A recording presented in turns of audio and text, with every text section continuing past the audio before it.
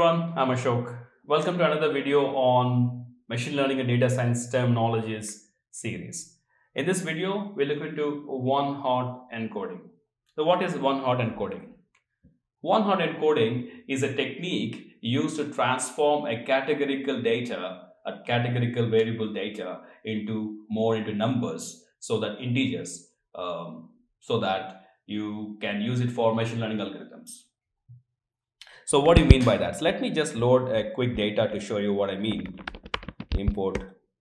Is it visible? Yep. Okay.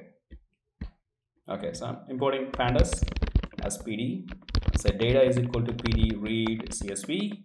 And then I say some data. I'm going to use uh, house pricing data from Bengaluru, the city in India.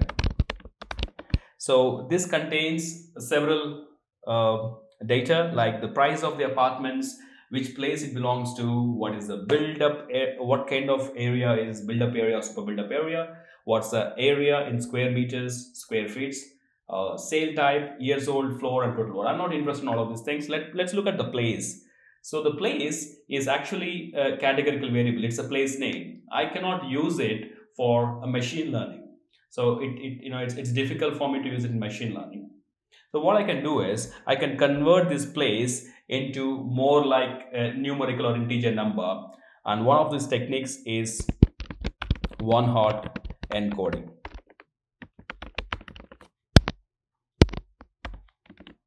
Okay, in one hot encoding, we simply can use um, pandas get dummies function to do it for us I can pass on this data place and you can see that what it has done, it has made every single place as one of the column by itself. For example, so let me see how many different variables we have.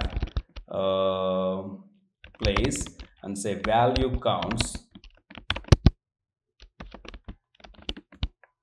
Okay, so these are the different places. We have uh, about 14 let's say 5 and 5 and yeah 15 so we have 15 places and these are the number of records on each of the places. There are like places like they were a BSN Devara Besanahali, Kerpuram, BTM layout and uh, uh, uh, Datamites office is, is very near to the BTM layout.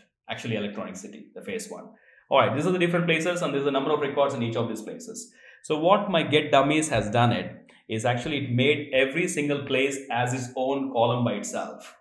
And so you can see the first record where we have over here it's from BTM layout. So you can see that all of the 15 uh, places have become 15 columns and all got zero except the BTM layout. So this got one.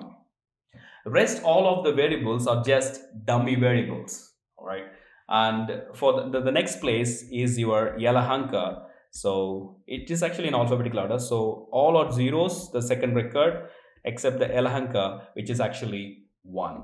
And likewise, all of these records will have one in the in the places where they are from, and all of the rest of the places will get a zero. And all of these zero columns are actually dummy columns, and that actually the reason why it's called as get dummies. And this technique is called as one hot encoding technique.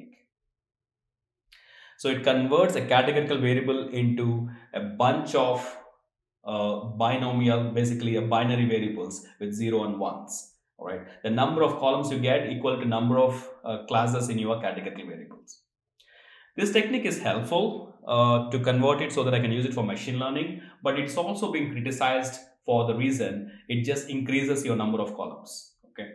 So it basically makes your data set massive and most of the algorithms if you have many columns the accuracy decreases. All right so um, I can also do the entire thing. For example the data we have contains only nine columns. But if I say get dummies PD get dummies I can do the entire data like that.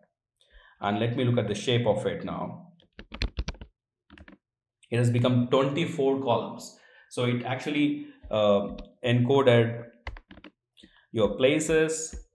It also encoded um, your build-up area, the sale type and everything. So it landed up with 24 columns. So the actual data has only 9 columns. It increases 24.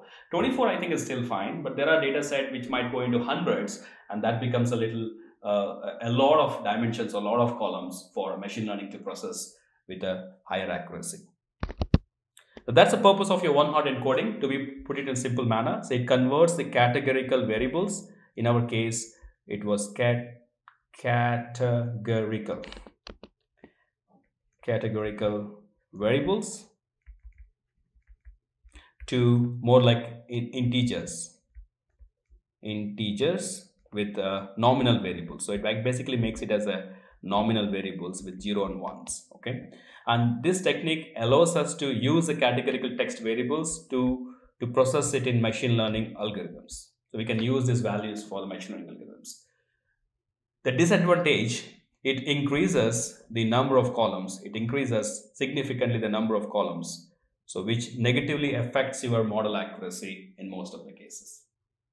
The alternative for one hot encoding is called as label encoding which will be discussed in another video.